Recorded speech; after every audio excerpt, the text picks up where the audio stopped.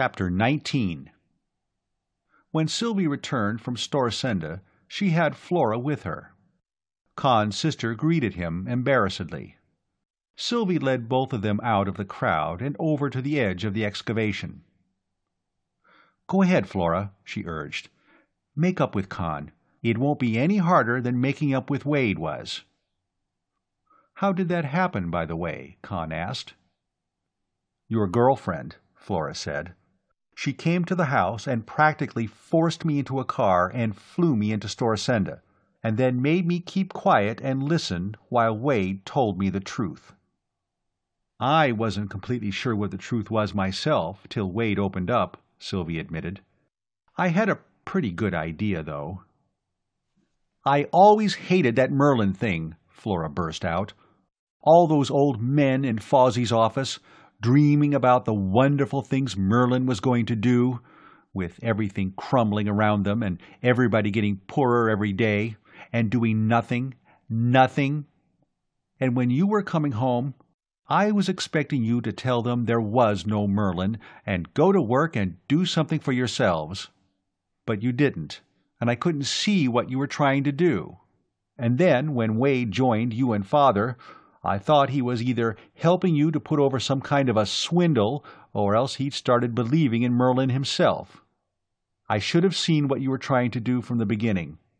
At least, from when you talked them into cleaning the town up and fixing the escalators and getting the fountains going again. So the fountains weren't dusty any more. How's Mother taking things now? Flora looked distressed. She goes around wringing her hands. Honestly, I never saw anybody doing that outside a soap opera. Half the time she thinks you and Father are a pair of unprincipled scoundrels and the other half she thinks you're going to let Merlin destroy the world. I'm beginning to be afraid of something like that myself. Huh? But Merlin's just a big fake, isn't it? You're using it to make these people do something they wouldn't do for themselves, aren't you? It started that way.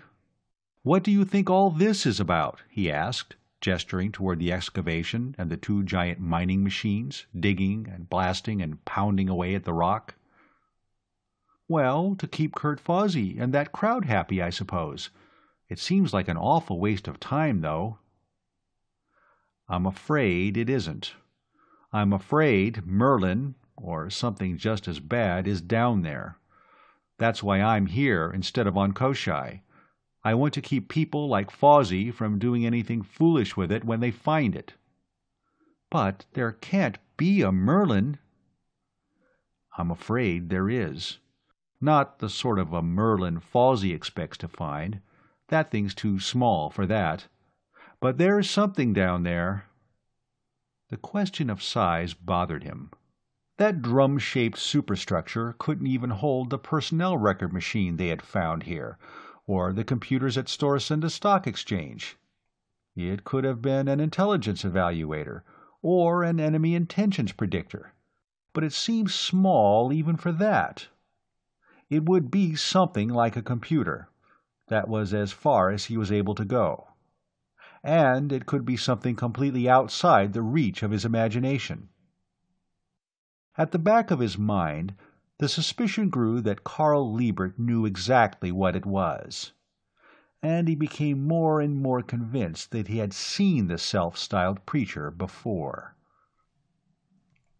Finally, the whole top of the hundred-foot collapsium-covered structure was uncovered, and the excavation had been leveled out wide enough to accommodate all the massive paraphernalia of the collapsium cutter. They put the thing onto contragravity again and brought her down in place. The work of lifting off the reactor and the converter and the rest of it, piece by piece, began. Finally, everything was set up. A dozen and a half of them were gathered in the room that had become their meeting place, after dinner. They were all too tired to start the cutting that night, and at the same time excited and anxious. They talked in disconnected snatches, and then somebody put on one of the telecast screens. A music program was just ending. There was a brief silence. And then a commentator appeared, identifying his news service. He spoke rapidly and breathlessly, his professional gravity cracking all over. The hypership City of Asgard from Aton has just come into telecast range, he began. We have received an exclusive Interworld News Service story recently brought to Aton on the Pan Federation spaceline ship Magellanic from Terra. News of revived interest in the Third Force computer, Merlin, having reached Terra by way of Odin. Representatives of Interworld News, to which this service subscribes, interviewed retired Force General Foxx Travis, now living at the advanced age of 114 on Luna. General Travis, who commanded the Third Fleet Army Force here during the war, categorically denied that there had ever existed any supercomputer of the sort. We bring you now a recorded interview with General Travis made on Luna. For an instant, Conn felt the room around him whirling dizzily, and then he caught hold of himself. Everybody else was shouting in sudden consternation. And then everybody was hushing everybody else and making twice as much noise. The screen flickered. The commentator vanished, and instead, seated in the deep cushioned chair, was the thin and frail old man with whom Conn had talked two years before, and through an open segment of dome roof behind him the full earth shone, the contents of the western hemisphere plainly distinguishable. A young woman in starchy nurse's white bent forward solicitously from beside the chair, handing him a small beaker from which he sipped some stimulant. He looked much as he had when Conn talked to him, but there was something missing. Oh, yes, the comparative youngster of seventy some. Mike Shanley, my aide de camp on Poictesme. Now he thinks he's my keeper. He wasn't in evidence, and he should be. Then Conn knew where and when he had seen the man who claimed to be a preacher named Carl Liebert. There is absolutely no truth in it, gentlemen, Travis was saying. There never was any such computer. I only wish there had been. It would have shortened the war by years. We did, of course, use computers of all sorts, but they were all the conventional types used by business organizations. The rest was lost in a new outburst of shouting.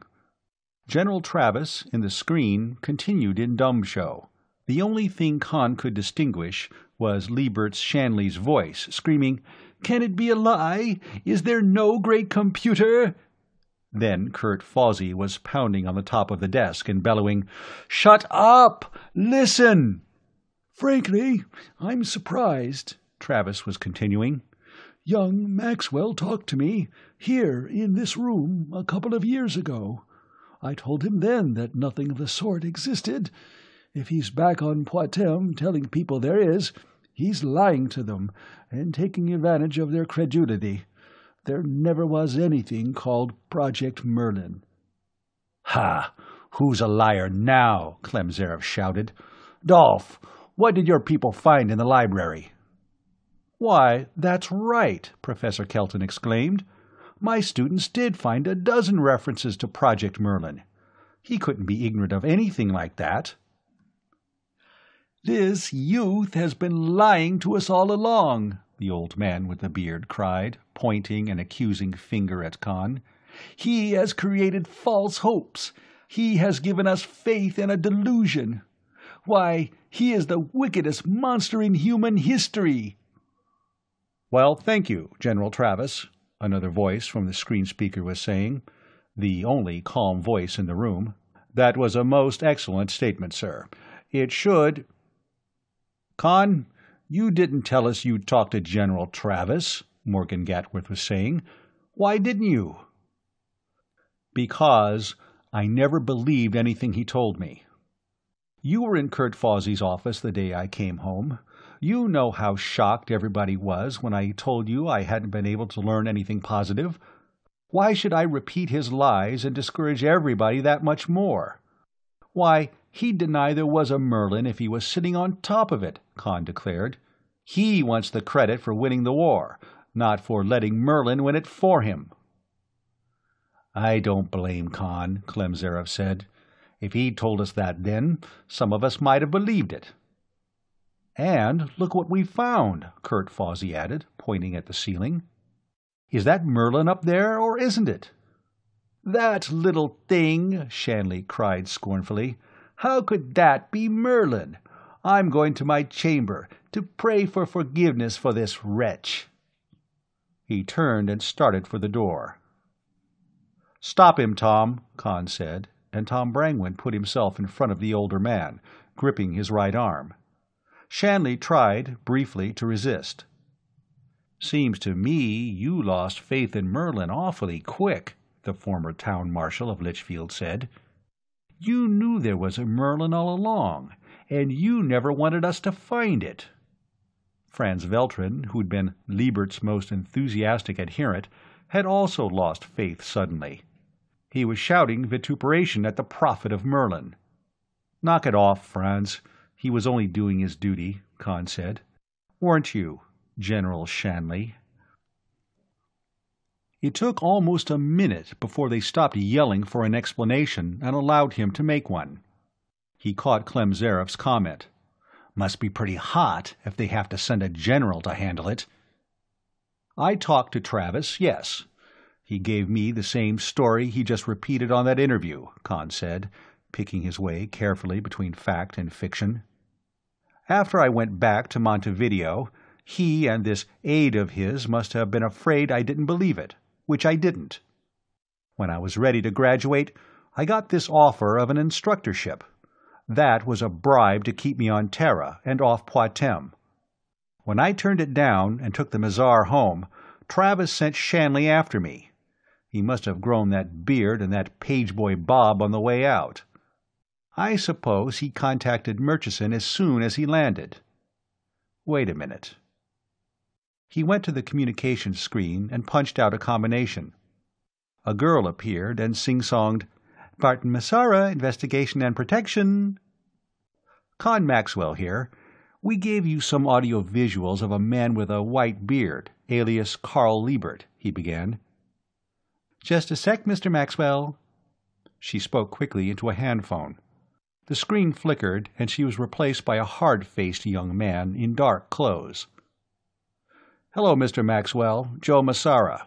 We haven't found anything on Liebert yet. Are any of the officers of the Andromeda where you can contact them? Let them see those audio visuals. I'll bet that beard was grown aboard ship coming out from Terra. Bedlam broke out suddenly. Shanley, who had been standing passively, his right arm loosely grasped by Tom Brangwyn, came down on Brangwyn's instep with the heel of his left foot and hit Brangwyn under the chin with the heel of his left palm. Wrenching his arm free, he started for the door. Sylvie Jacquemart snatched a chair and threw it along the floor. It hit the fleeing man's ankles and brought him down.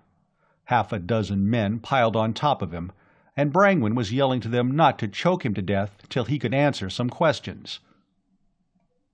Hey, what's going on? the detective agency man in the screen was asking. Need help? We'll start a car right away. Everything's under control, thank you. Massara hesitated for a moment. What's the dope on this statement that was on telecast a few minutes ago? he asked. Travis doesn't want us to find Merlin. What you just heard was one of his people, planted here at Force Command. We're going to question him when we have time. But there isn't a word of truth in that statement you just heard on the Herald Guardian newscast. Merlin exists, and we've found it. We'll have it open inside of 30 hours at most. That was the line he was going to take with everybody. As soon as he had Massara off the screen, he was punching the combination of his father's private screen at Interplanetary Building. It took five interminable minutes before Rodney Maxwell came on. He could hear Klem Zareff shouting orders into one of the inside communication screens, General turnout, everything on combat ready, guards to come at once to the office. How close are you to digging that thing out? his father asked as soon as he appeared. We're down to it. We can start cutting the collapsium any time now. Start cutting it ten minutes ago, his father told him. and don't leave Force Command till you have it open. How many men and vehicles does Klem have for defense? You'll need all of them in a couple of hours. Everybody here is stunned now. They'll come out of it inside an hour, and they'll come out fighting. You'd better come out here. He turned, saw Jerry Rivas helping hold Shanley in a chair, and shouted to him, Jerry, turn out the workmen. Start cutting the can open right away. He turned back to his father. Klem's just ordered all his force out. Are you coming here? I can't. In about an hour, everything's going up with a bang. I have to be here to grab a few of the pieces. You'll do a lot of good in jail or on the end of a rope. Chance I have to take, his father replied. I think I'll have a couple of hours. If anybody from the press calls you, what are you going to tell them? Conn repeated the line he had taken already. His father nodded. All right, I'll call you later, if I can. Just keep things going at your end. A dozen of Klem Zareff's men were crowding into the room.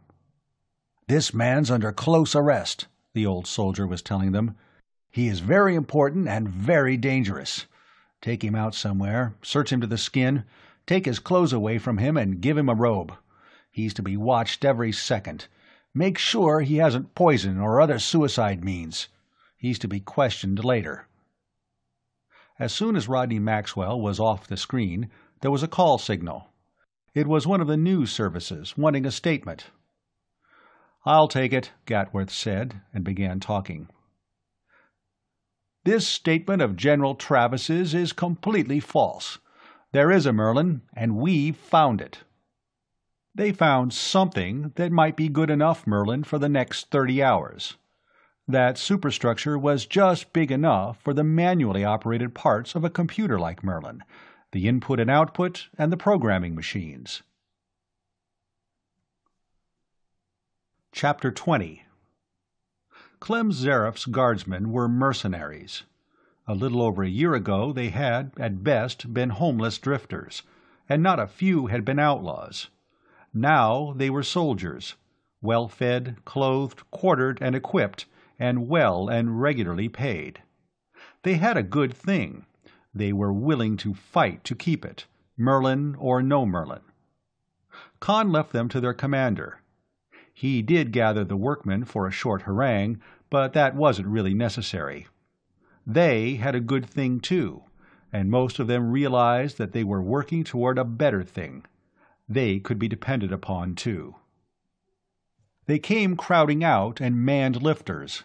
They got the heavy collapsium cutter maneuvered into place and the shielding down around the cutting head.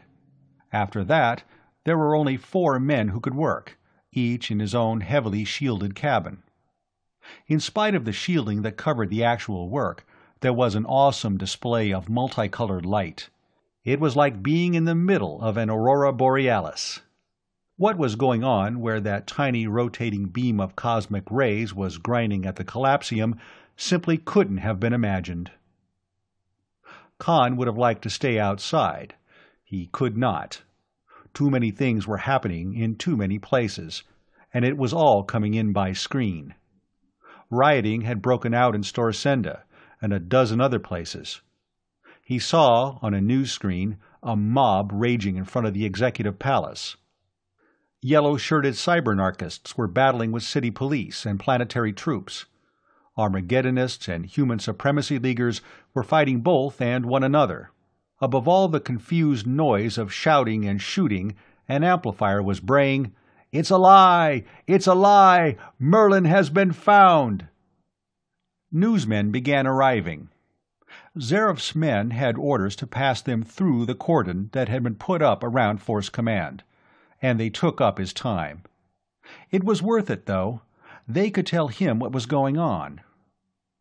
J. Fitzwilliam Sturber called. Rodney Maxwell had been arrested, on a farrago of fraud charges. I don't know who he's supposed to have defrauded. The planetary government is the sole complainant. And bail was being illegally denied. Sturber's lawyerly soul was outraged, but he was grimly elated. You wait till things quiet down a little. We're going to start a false arrest suit. If you're alive to, Apparently Sturber hadn't thought of that. What do you think's going to happen when the stock exchange opens? It's going to be bad. But don't worry, your father must have foreseen something like this. He gave me instructions, and instructed a few more people. He named some of the Tri-System Investments people and some of the bankers. We're going to try and brace the market as long as we can. Nobody who keeps his head is going to lose anything in the long run. Luther Chen Wong called from Port Carpenter on Koshchei. He and Clyde Nichols and a young mathematics professor named Simon McQuart had been running the colony in Conn's absence, and since Yves Jacquemart had gone to space in the Ouroboros II. Well, they caught up with you, he said.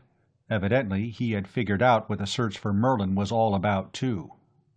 What do we do about it? Well, we are just before finding Merlin here. I hope we find it before things get too bad. He told Luther the situation of the moment. Have you people started on another hypership yet? We're getting organized to. I don't suppose it's advisable to send any more ships into Storisende for a while. Are you sure this thing you found is Merlin? I don't know what it is. It's only big enough for the apparatus they need to operate a thing like Merlin. Yes, Luther, I'm sure we have found Merlin. Chen Wong looked at him curiously. I hope so. I can't think of anything else that can stop this business. Tom Brangwyn was in the room when he turned from the screen. We searched Liebert's Shanley's rooms, he said. We found a bomb. What kind of bomb? Vest pocket thermonuclear. He seems to have gotten the fissionables by taking apart a couple of light tactical missiles. The whole thing's packed inside a hundred pound power cartridge case. It was in a traveling bag under his bed. And you know how it was to be fired? With a regular 40 millimeter flare pistol welded into the end of the bomb. The flare powder had been taken out of the cartridge, and it had been reloaded with a big charge of rifle powder. I suppose it would blow one subcritical mass into another, but the only way he could have fired the bomb would have been by pulling the trigger. And blowing himself up along with it. He must have wanted Merlin destroyed pretty badly. Have you questioned him yet? Not yet. I wanted to tell you about it first. He looked at his watch. Only four hours had passed since the newscast. Why, that seemed like months ago now. All right, Tom. We'll go talk to him. Where's the colonel? Zareff was surrounded by a dozen screens keeping in touch with the Lester Dawes and the gunboats and combat cars, and the gun positions with which he had ringed Force Command.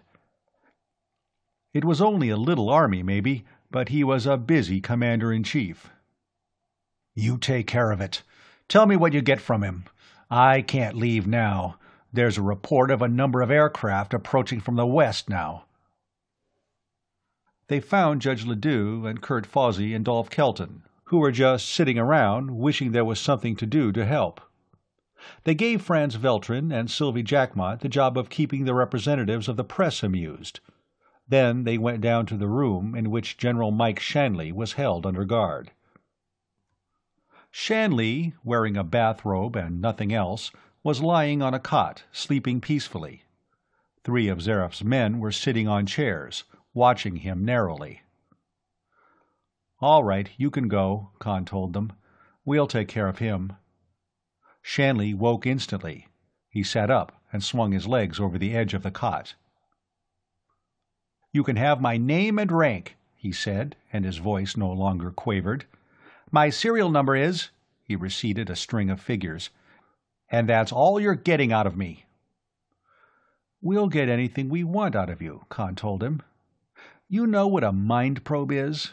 You should. Your accomplices used one on my father's secretary. She's a hopeless imbecile now. You'll be too, when we're through with you. But before then, you'll have given us everything you know. Kellton began to protest. Conn, you can't do a thing like that. A mind probe is utterly illegal. Why, it's a capital offense, Ledue exclaimed. Conn, I forbid you. Judge, don't make me call those guards and have you removed, Conn said. You can stop bluffing, Shanley told him. Where would you get a mind probe? Out of the Chief of Intelligence's office, here in his headquarters. I should imagine it was to be used in interrogating Alliance prisoners during the war. I think Colonel Zareff would enjoy helping to use it on you. He used to be an Alliance officer. Shanley was silent. Conn sat down in one of the chairs at the small table. General Shanley, would you describe General Foxx Travis as a man of honor and integrity? And would you so describe yourself? Shanley said nothing. Yet both of you have lied, deliberately and repeatedly, to conceal the existence of Merlin. And we found that bomb in your room. You were willing to blow up this headquarters and everybody, yourself included, in it to keep us from getting at Merlin. Well, you know that we can make you tell us the truth, maybe when it's too late, and you know that we are going to get Merlin. We're cutting the collapsium off that thing above now. Shanley laughed. You're supposed to be a computer man. You think that little thing could be Merlin? The controls and programming machine for Merlin. He turned to Kurt Fawzi. You always claimed that Merlin was here in Force Command. You had it backward. Force Command is inside Merlin. What do you mean, Conn? The walls, the fifty-foot walls, shielded inside and out. Merlin, the circuitry, the memory bank, the relays, everything was installed inside them. What's up above is only what we needed to operate the computer. Isn't that true, General? Shanley had stopped his derisive laughter. He sat on the edge of the cot, tensing as though for a leap at Conn's throat. That won't help either. If you try it, we won't shoot you. We'll just overpower you and start mind probing right away. Now, you feel that suppressing Merlin was worth any sacrifice. We're not unreasonable. If you can convince us that Merlin ought not to be brought to light, well, you can't do any harm by talking, and you may do some good. You may even accomplish your mission. He can't talk us out of it, Kurt Fawzi seemed determined to spoil things by saying. Conn, I'm coming around to Klem's way of thinking. They just don't want anybody else to have it. No, we don't, Shanley said. We don't want the whole Federation breaking up into bloody anarchy, and that's what'll happen if you dig that thing up and put it into operation. Nobody said anything except Fawzi, who began an indignant contradiction and then subsided. Tom Brangwyn lit a cigarette. Would you mind letting me have one of those? Shanley said. I haven't had a smoke since I came here. It wouldn't have been in character. Brangwyn took one out of the pack, lit it at the tip of his own, and gave it to Shanley with his left hand, his right ready to strike. Shanley laughed in real amusement. "Oh, brother," he reproved in his former pious tones, "you distrust your fellow man. That is a sin." He rose slowly, the bathrobe flapping at his bare shins, and sat down across the table from Conn. All right, he said. I'll tell you about it. I'll tell you the truth, which will be something of a novelty all around. Shanley puffed for a moment at the cigarette. It must really have tasted good after his long abstinence. You know, we were really caught off balance when the war ended. It even caught Merlin short. Information lag, of course. The whole alliance caved in all at once. Well, we fed Merlin all the data available and analyzed the situation. Then we did something we really weren't called upon to do, because that was policy planning and wasn't our province. But we were going to move an occupation army into System States planets, and we didn't want to do anything that would embarrass the Federation government later. We fed Merlin every scrap of available information on political and economic conditions everywhere in the Federation and set up a long-term computation of the general effects of the war. The extrapolation was supposed to run 500 years in the future. It didn't.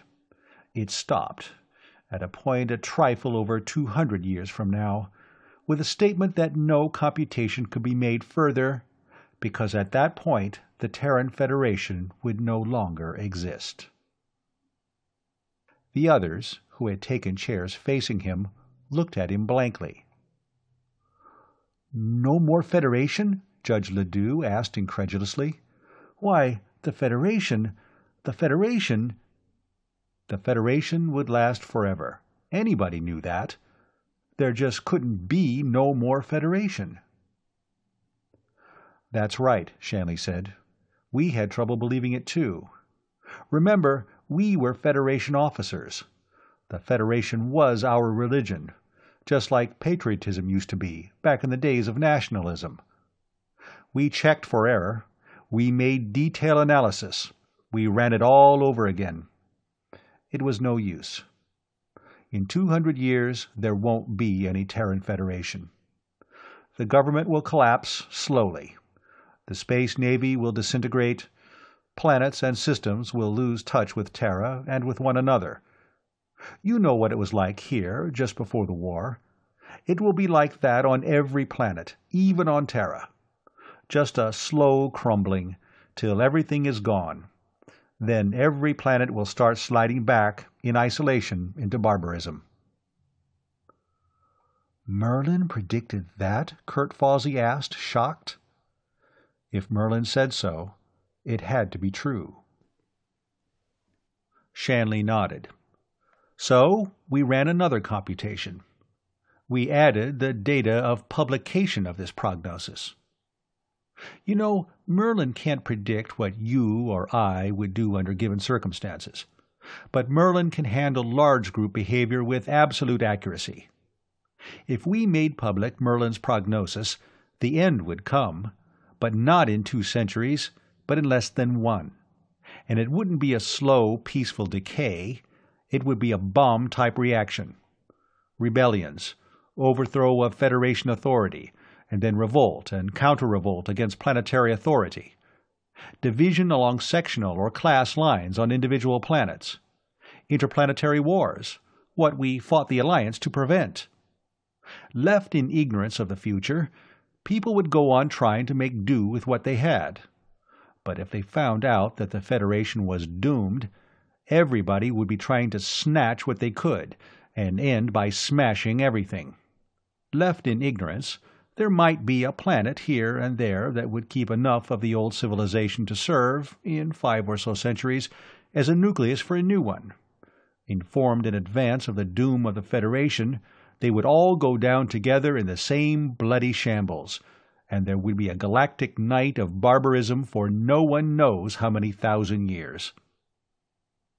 We don't want anything like that to happen, Tom Brangwyn said in a frightened voice. Then pull everybody out of here and blow the place up. Merlin along with it, Shanley said. No, we'll not do that, Fawzi shouted. I'll shoot the man dead who tries it. Why didn't you people blow Merlin up? Conn asked. We built it. We'd worked with it. It was part of us, and we were part of it. We couldn't. Besides, there was a chance that it might survive the Federation. When a new civilization arose, it would be useful. We just sealed it. There were fewer than a hundred of us who knew about it. We all took an oath of secrecy we spent the rest of our lives trying to suppress any mention of Merlin or the Merlin Project. You have no idea how shocked both General Travis and I were when you told us that the story was still current here on Poictesme. And when we found out that you'd been getting into the records of the Third Force, I took the next ship I could, a miserable little freighter, and when I landed and found out what was happening, I contacted Murchison and scared the life out of him with stories about a secessionist conspiracy. All this Armageddonist, human supremacy, Merlin as the devil stuff that's been going on was started by Murchison. And he succeeded in scaring Vikhoven with the cybernarchists, too. This computation on the future of the Federation is still in the backwork file? Conn asked. Shanley nodded. We were criminally reckless. I can see that now. Let me beg, again, that you destroy the whole thing. We'll have to talk it over among ourselves, Judge Ledue said. The five of us here cannot presume to speak for everybody. We will, of course, have to keep you confined. I hope you will understand we cannot accept your parole. Is there anything you want in the meantime? Conn asked. I would like something to smoke, and some clothes, General Shanley said, and a shave and a haircut. Chapter 21 All through the night, a shifting blaze of many-colored light rose and dimmed the stars above the mesa. They stared in awe, marveling at the energy that was pouring out of the converters into a tiny spot that inched its way around the collapsium shielding. It must have been visible for hundreds of miles. It was, for there was a new flood of rumors circulating in Storisende and repeated and denied by the newscasts, now running continuously. Merlin had been found. Merlin had been blown up by government troops. Merlin was being transported to Storisende to be installed as arbiter of the government. Merlin the monster was destroying the planet. Merlin the devil was unchained. Conn and Kurt Fawzi and Dolph Kellton and Judge Ledue and Tom Brangwyn clustered together, talking in whispers. They had told nobody yet of the interview with Shanley. You think it would make all that trouble? Kellton was asking anxiously, hoping that the others would convince him that it wouldn't. Maybe we had better destroy it, Judge Ledue faltered. You see what it's done already. The whole planet's in anarchy. If we let this go on... We can't decide anything like that, just the five of us, Brangwyn was insisting. We'll have to get the others together and see what they think. We have no right to make any decision like this for them. They're no more able to make the decision than we are, Conn said. But we've got to. They have a right to know. If you decide to destroy Merlin, you'll have to decide to kill me first, Kurt Fawzi said, his voice deadly calm. You won't do it while I'm alive. But Kurt, Ledue expostulated, you know why these people here at Storisende are rioting. It's because they've lost hope, because they're afraid and desperate. The Terran Federation is something everybody feels they have to have for peace and order and welfare. If people thought it was breaking up, they'd be desperate too. They'd do the same insane things these people here on this planet are doing. General Shanley was right. Don't destroy the hope that keeps them sane. We don't need to do that, Kurt Fawzi argued. We can use Merlin to solve our problems. We don't need to tell the whole Federation what's going to happen in 200 years. It would get out. It couldn't help getting out, Ledue said. Let's not try to decide it ourselves, Conn said. Let's get Merlin into operation and run a computation on it. You mean ask Merlin to tell us whether it ought to be destroyed or not? Ledue asked incredulously. Let Merlin put itself on trial and sentence itself to destruction? Merlin is a computer. Computers deal only in facts. Computers are machines. They have no sense of self-preservation. If Merlin ought to be destroyed, Merlin will tell us so. You willing to leave it up to Merlin, Kurt? Tom Brangwyn asked. Fawzi gulped. Yes. If Merlin says we ought to, we'll have to do it. Toward noon, a telecast went out from Koshchei on a dozen different wavelengths. Conn, half asleep in a chair in the Commander-in-Chief's office, saw Simon Marquardt, the young mathematics professor from Storisende College, who had become one of the leaders of the colony, appear on the screen. The next moment he was fully awake, shocked by Marquardt's words. This is not a threat. This is a solemn, even a prayerful warning. We do not want to use genocidal weapons of mass destruction against the world of our birth. But whether we do or not rests solely with you. We came here with a dream of a better world, a world of happiness and plenty for all. We have been working, on Koshchei, to build such a world on Poictesme. Now you are smashing that dream. When it is gone, we will have nothing to live for except revenge, and we will take that revenge, make no mistake. We have the weapons with which to take it. Remember, this was a Federation naval base and naval arsenal during the war. Here, the Federation Navy built their super missiles, the missiles which devastated Ashmodai and Belphegor and Baphomet, and hundreds of these weapons are here. We have them, ready for launching. Once they are launched, with the robo-pilots set for targets on Poictesme, you will have 160 hours, at the most, to live. We will launch them immediately if there is another attack made upon Force Command Duplicate HQ, or upon Interplanetary Building in Storisende, or if Rodney Maxwell is killed, no matter by whom or under what circumstances. We beg you, earnestly and prayerfully, not to force us to do this dreadful thing. We speak to each one of you, for each one of you holds the fate of the planet in his own hands. The image faded from the screen. As it did, Conn was looking from one to another of the people in the room with him. All were dumbfounded, most of them frightened. They wouldn't do it, would they? Lorenzo Menardus was asking. Conn, you know these people. They wouldn't, really. Don't depend on it, Lorenzo, Klem Zareff said. It's hard for a lot of people to shoot somebody ten feet away with a pistol. But just sending off a missile, that's nothing but setting a lot of dials and then pushing a button. I'm not worrying about whether they do it or not, Conn said. What I'm worrying about is how many people will believe they will. Apparently, a good many people did. Zareff's combat vehicles began reporting a cessation of fighting. The newscasts, repeating the ultimatum from Koshchei, told of fewer and fewer disorders in the city or elsewhere. By mid-afternoon, the rioting had stopped. By that time, too, Rodney Maxwell was on screen. He was, Conn noticed, wearing his pistols again. "What happened?" he asked. "They let you out on bail?" Maxwell shook his head. "Charges dismissed. They didn't have anything to charge me with in the first place. But they haven't let me out yet." "You're wearing your guns." "Yes, but they still have me penned up here at the Executive Palace. They're practically keeping me in the safe. I wish our people on Koshchei hadn't mentioned me in their ultimatum. Jake Feikhoven's afraid to let me run around loose for fear some lunatic shoots me and starts the planet busters coming in. Jake did one good thing, though.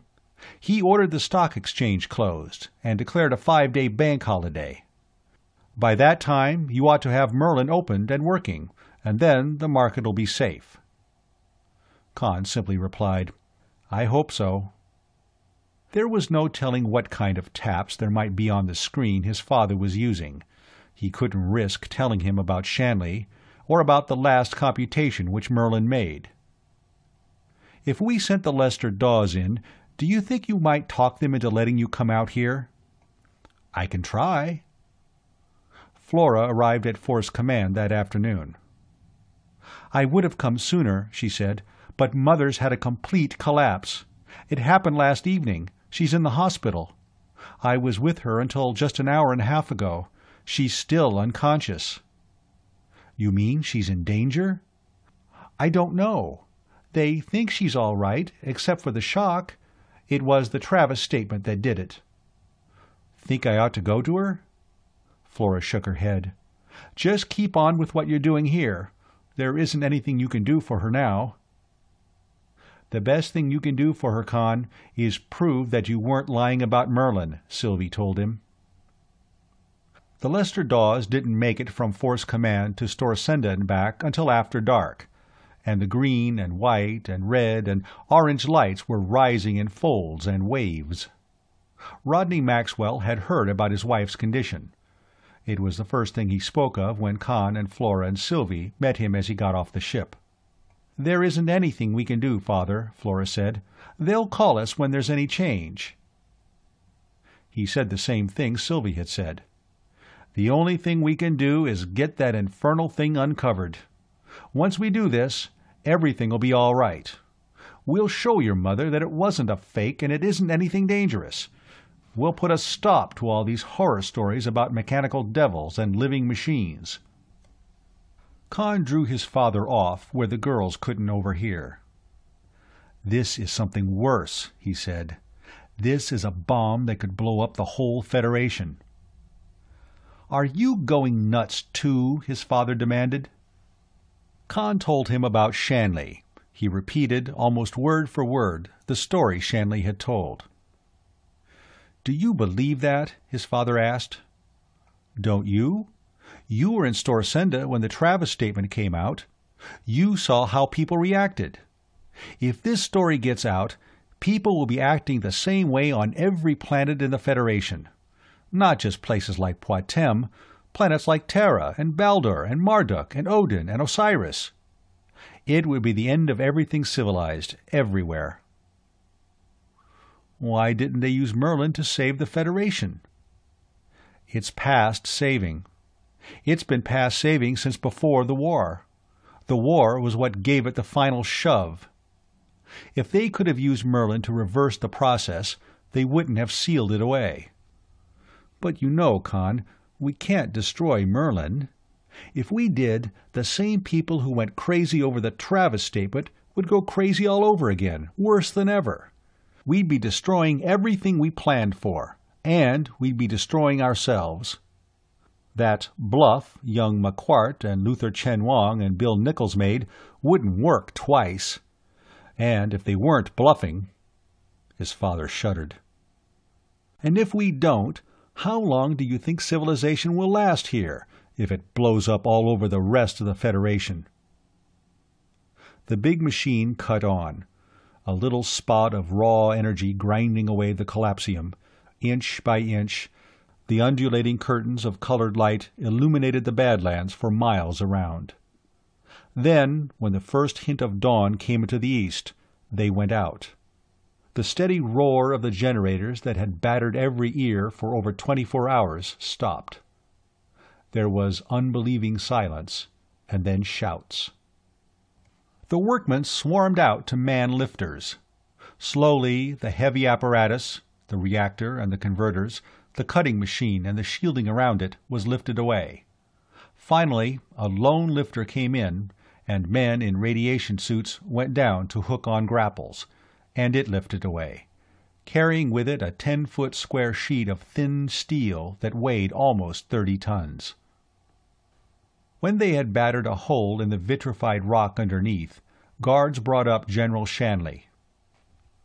Somebody, almost up to professional standards, had given him a haircut. The beard was gone, too.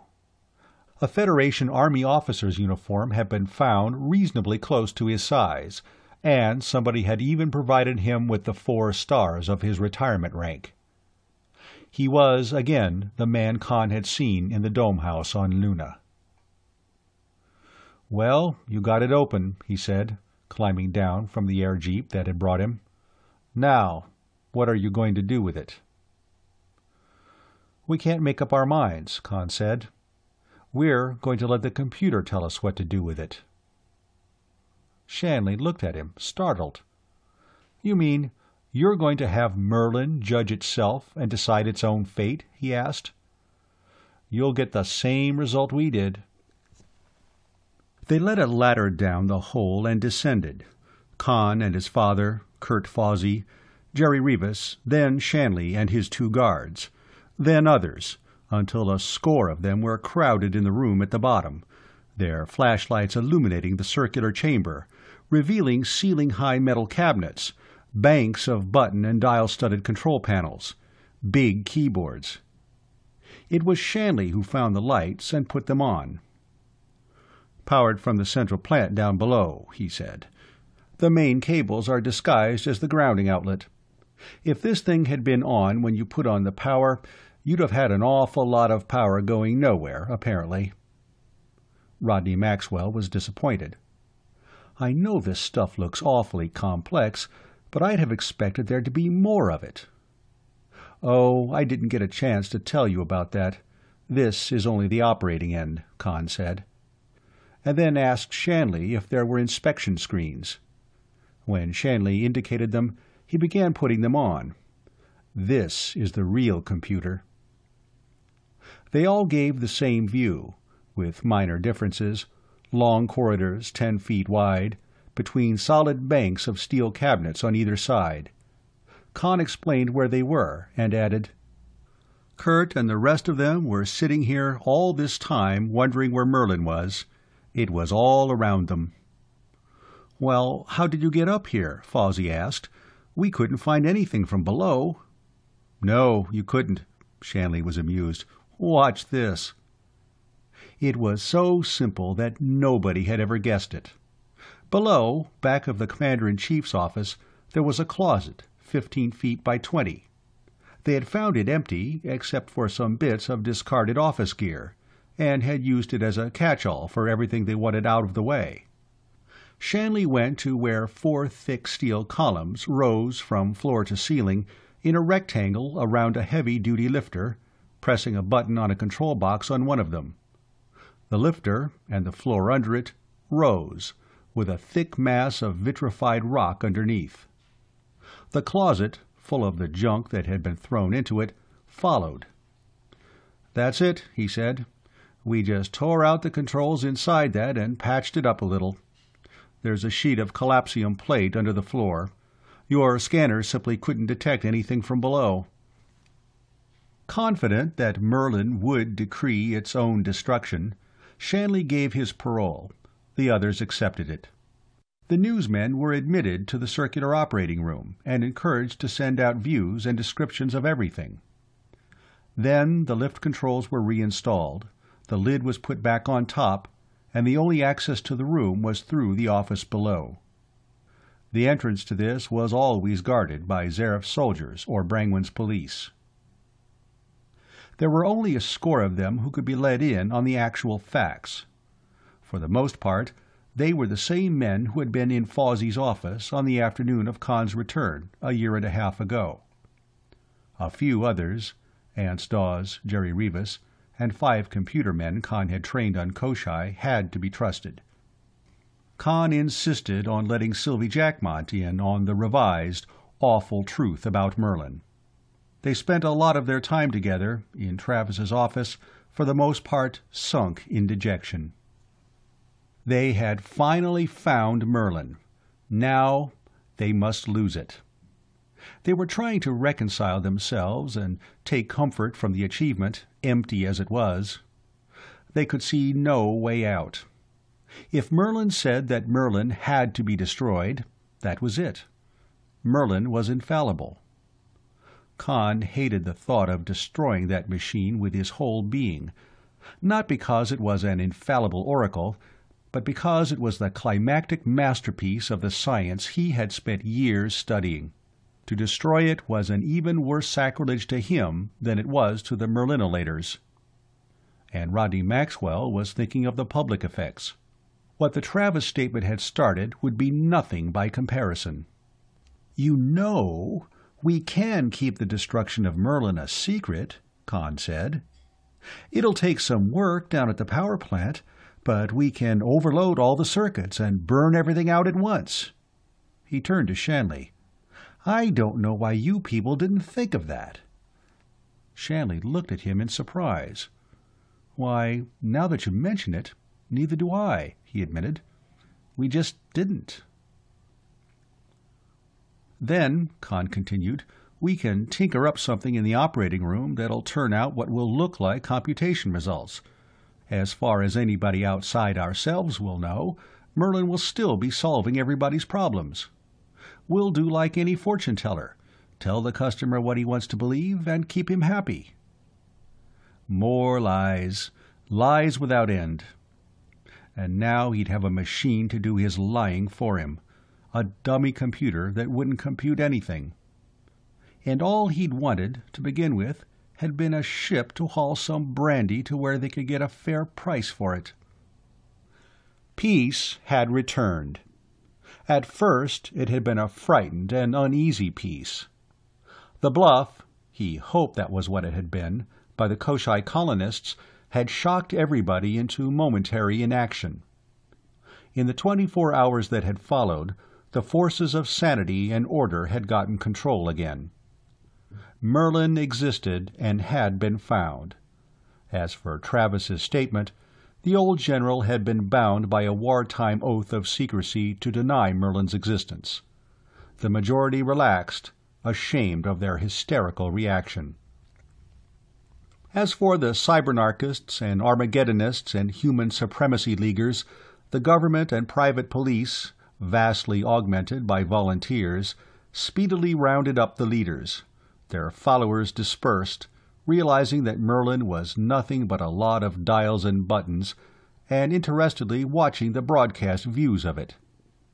The banks were still closed, but discreet backdoor withdrawals were permitted to keep business going.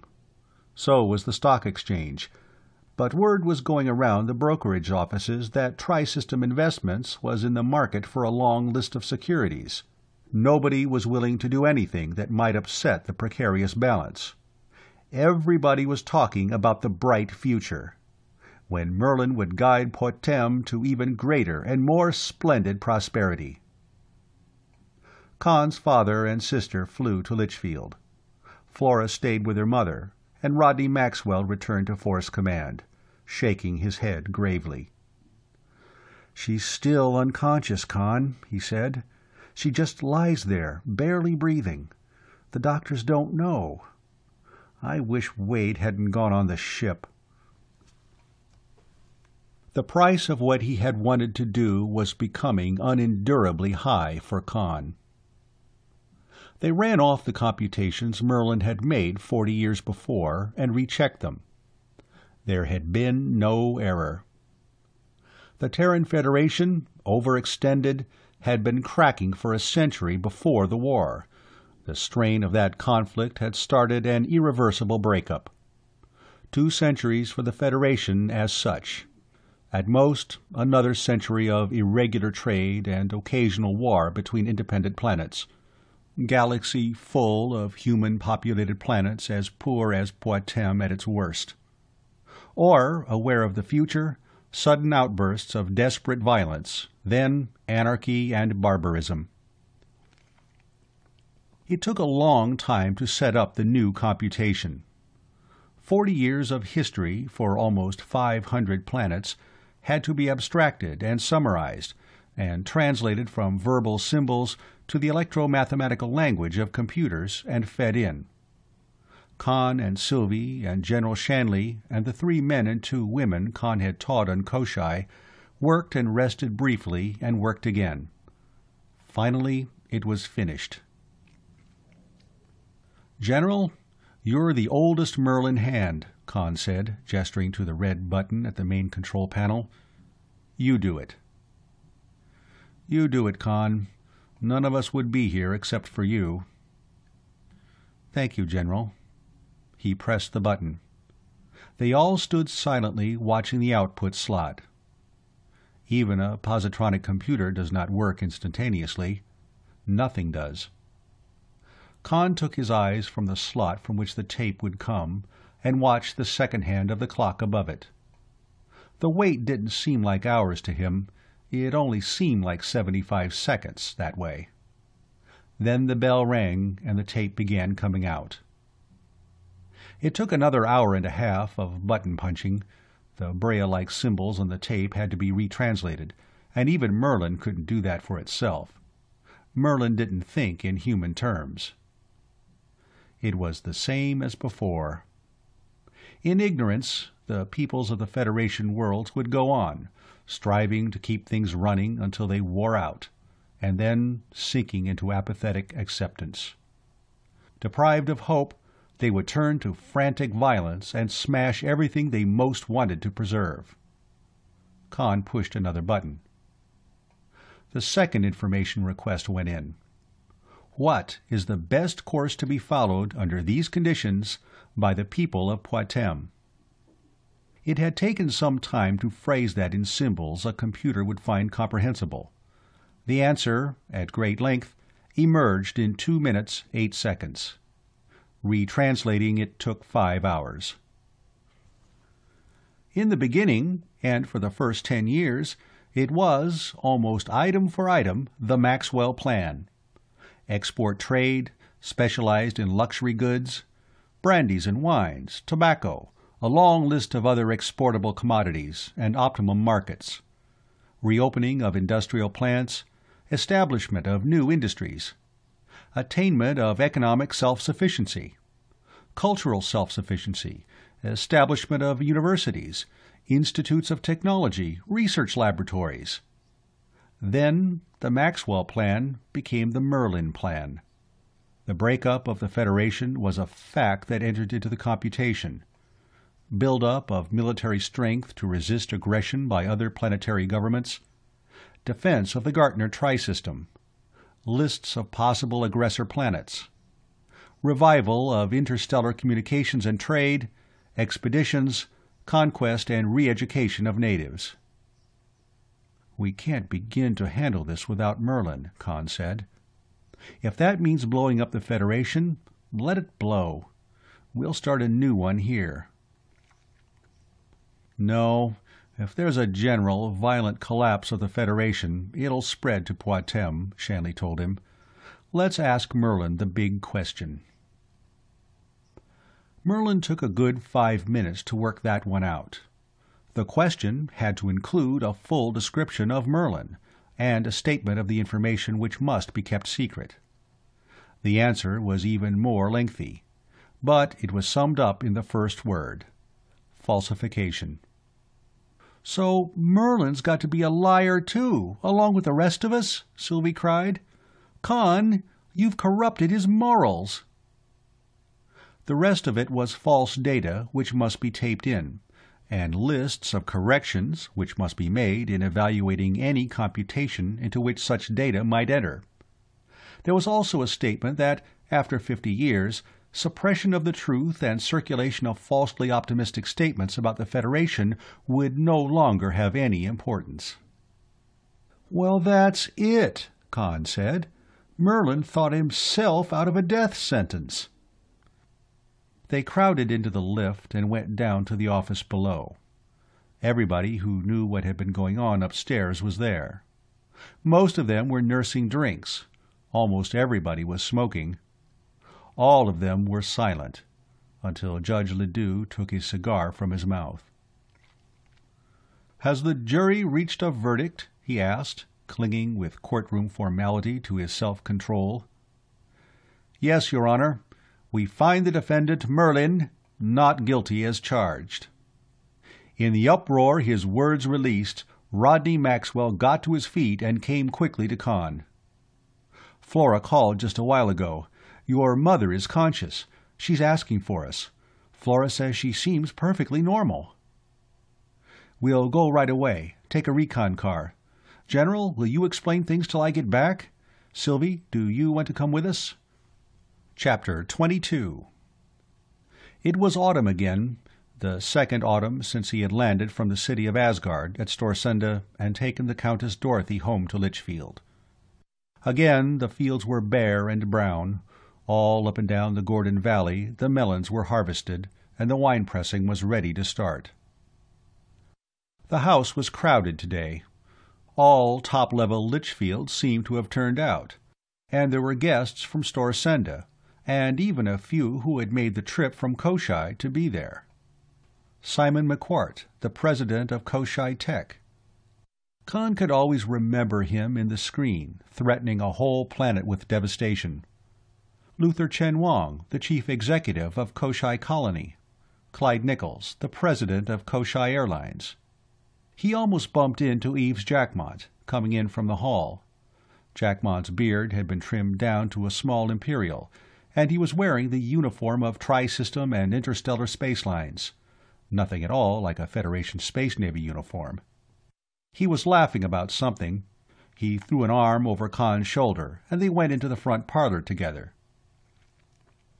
Oh, Gehenna of a big crop, he heard Klem Zareff's voice chuckling happily above the babble in the room. You wouldn't believe it.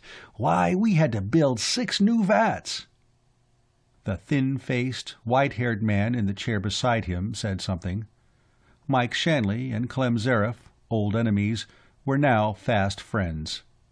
Shanley had come in from Force Command with Conn that morning. He had stayed on Poictesme as nominal head of Project Merlin, and intended to remain there for the rest of his life. "Oh, there aren't any more farm tramps," Zareff replied. "Everybody's getting factory jobs off-planet. I have an awful time getting help, and what I can get won't work for less than ten sols a day. Why, they're even organizing a union. There were feminine shrieks from across the room, and a stampede. The house-cleaning robot had come in, running its vacuum-cleaning hose around and brandishing its mops. He saw his mother break away from a group of older ladies and shout, "Oscar!" The robot stopped dead. "Yes'm?" A voice came out of it, Sheshan accented. "Get out!" his mother commanded. "Go to the kitchen. Stay there." "Yes'm." The robot floated out the door to the hall. His mother rejoined her friends, probably telling them for the thousandth time that her boy Conn fixed up the sound receptors and voice for Oscar, or harping on how Conn had been telling everybody the truth all along and people wouldn't believe him. Sylvie came up to him and caught his arm. "Come on, Conn. They're going to start the rehearsal," she said. They've been going to start it for an hour, her father told her. Well, they're really going to start it now. All right, you two run along, Yves Jacquemart said. And you'd better start rehearsing for your own wedding before long. The Genji will be ready to hyper out in another month, and I don't want to be at space when my only daughter gets married. They pushed through the crowd, dragging Conn's mother with them toward the big living room beyond. On the way, Mrs. Maxwell stopped to try to drag Judge Ledue out of a chair. Judge, the rehearsal is starting. They can't do it without you. Ledue clung to his chair. They daren't do it with me, Mrs. Maxwell. If I get into it, it won't be a rehearsal. They'll be really married, and then there won't be any point in having a wedding tomorrow. Oh, Morgan, Conn called across the room to Gatworth. You've just been appointed temporary judge for the wedding rehearsal. There was a big crowd around Wade Lucas in the next room. He was telling them about the voyage to Baldur, from which he had returned, and the one to Irminsul with a cargo of arms, machine tools, and contragravity vehicles on which he and his bride would go for their honeymoon. There was another crowd around Flora. She was telling them about the new fashions on Baldur, which had been brought back on the Ouroboros too. "Where's your father?" his mother was asking him. "He has to rehearse giving the bride away." "Probably in his office. I'll go get him." "You'll get into an argument with somebody and forget to come back," his mother said. "Sylvie, you go with him and bring both of them back." "When'll we have our wedding, Sylvie?" he asked as they went off together. "Well, before Dad goes to Aditya with the Genji. That'll have to be in a month." "Two weeks? That ought to be plenty of time to get ready, and let people recover from this one. Everybody's here now. Let's make it a double wedding tomorrow, she suggested. He hadn't been prepared for that. Well, I hadn't expected... Sure. Good idea, he agreed. There was a crowd in Rodney Maxwell's little office, Fawzi and some others, and some Storisende people. One of the latter was vociferating. Jake Feikoven's no good, and he never was any good. Well, you have to admit, if he hadn't ordered the banks and the stock exchange closed that time, we'd have had a horrible panic. Admit nothing of the kind. Jethro, you were there, and you'll bear me out. About a dozen of us were at Executive Palace for hours, bullying him into that. Why, we almost had to twist one of his arms while he was signing the order with the other. And now he has the gall to run for re-election on the strength of his heroic actions at the time of the Travis hoax? I know who we want for president, another Storisende man exclaimed. He's right here in this room. Yes, Rodney Maxwell almost bellowed before the other man could say anything else. Here he is. He grabbed Kurt Fawzi by the arm and yanked him to his feet. Here's the man most responsible for finding Merlin, the man who first suggested sending my son Conn to Terra to school, the man who, more than anyone else, devoted his life to the search for Merlin, the man whose inextinguishable faith and indomitable courage kept that search alive through its darkest hours. Everybody, get a drink. A toast to our next president, Kurt Fawzi. Conn was sure he heard his father add, Goo, what a narrow escape. Then he and Sylvie began chanting in unison, We want Fawzi! We want Fawzi!